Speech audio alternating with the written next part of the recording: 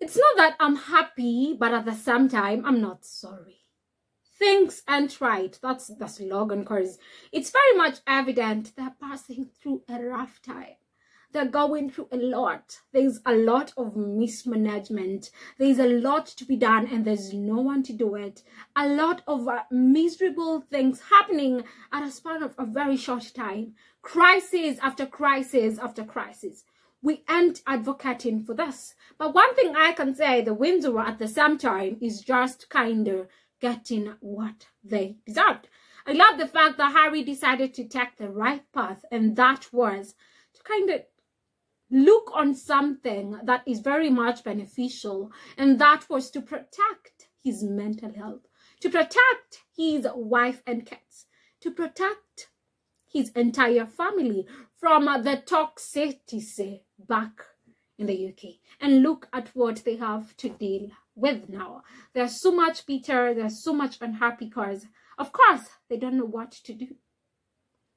Yes, Harry and Meghan are busy making uh, Harry and Meghan are busy proving a point, busy proving that, you know what, we were kind of the ones holding the farm. And yes, you can see it now. In our absentia, what is taking place? Nothing, of course.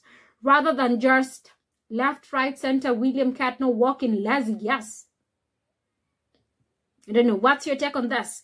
Daily Mail, with the Windsor in crisis, it's clear that the Sussexers should have stayed. But they couldn't stay now that the environment was so much toxic. They couldn't stay now that they were never appreciated. They couldn't stay that, that they were never respected. Trolling, abused, harassed, insulted, even in public. And yet, here they are now that never stopped them from looking forward. That never literally stopped them from, you know, just making moves. Nope, it didn't. It's this week where we, where the royals, dam broke. It is irrevocably changed. Or is this just a bad week? And all will be forgotten as soon as the Princess of Wales fully rested from her emergency BBL comes out to public events. I don't know, but it definitely feels like more people are paying attention to the royal clone show. And it's because no one from the royals to their staffers can do their job properly. Whose fault is that? You guessed it, Harry and Meghan. At least according to the Daily Mail's Maureen, who wrote a particular panicked piece about how everything in Windsor is falling apart. And Harry and Meghan don't even have the Dancy to come running back to save the Windsor. Why should they? They were never respected. They were never appreciated. They were showed that you don't belong here. They were never treated right, abused right. And uh, just over and over again.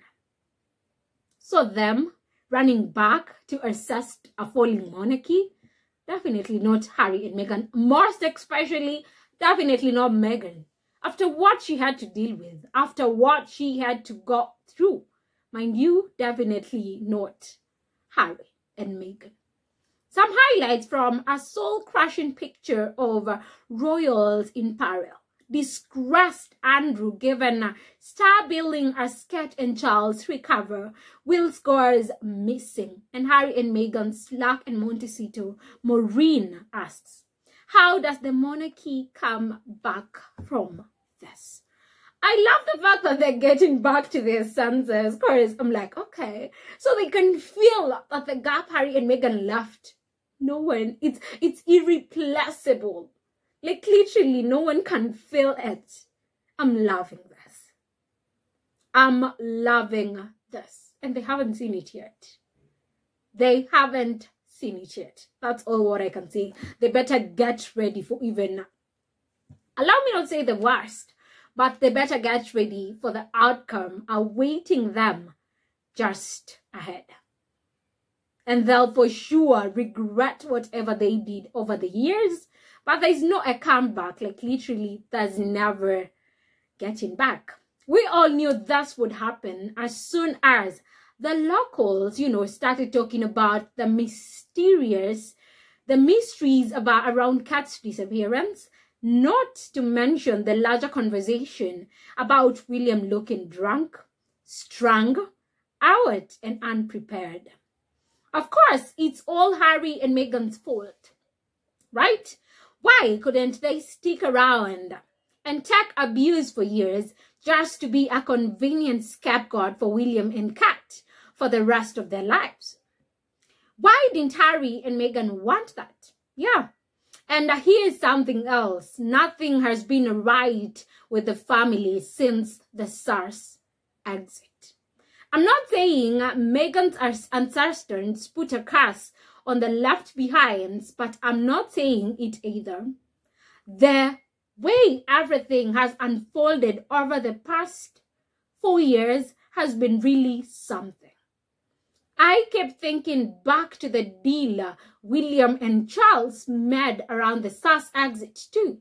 That Charles would sign off on pushing the Sussexers out with the understanding that William and Kate would finally step out. Oh well, I have never been happier than the Sussexers got out while the getting was quiet. I've never been happier like this ever before. Because what they're facing, I bet they deserve it. They were on the so much front line wanting never to see Harry and Meghan there because they saw them as a competition. They thought Harry and Meghan live and William and Kate will step up. But look what we have to deal with. I'm like, gosh. So this is what will be when, you know, it kind of, it's kind of William's turn. Because Harry is never ready to get him back to be anyone's scapegoat. Never ready to be painting a positive picture of people who don't even appreciate it. Because it's basically Harry and Meghan who are kind of making this thing work kind of just I know I know you can understand where this whole thing is coming from. And that's why I have always started and I'll continue saying this. Ever since they left, truth keeps on unveiling itself. Their absence there is so much missed. It's just that they can't admit it. But yes, they're missing it out. Just looking at Daily Mail having this. Just did a previous video over Good morning, Britain, having some other story. GB with other story. And I'm like, God, this is what we expected. It would happen someday because what else were they expecting? What else were they expecting that it will be an outcome? That's all what I can say. I don't know. What are some of your thoughts? I don't know what you think about this. But we're watching it from a distance. That what that's all what I can say. I remember telling you guys, William needs to understand that people are watching. People can see. People are watching. People are busy taking notes. And trust me, you it will haunt him someday. The same way he treated Harry and Meghan, karma is busy working so well on them. Let's see how this all goes. Just kindly comment your thoughts down below.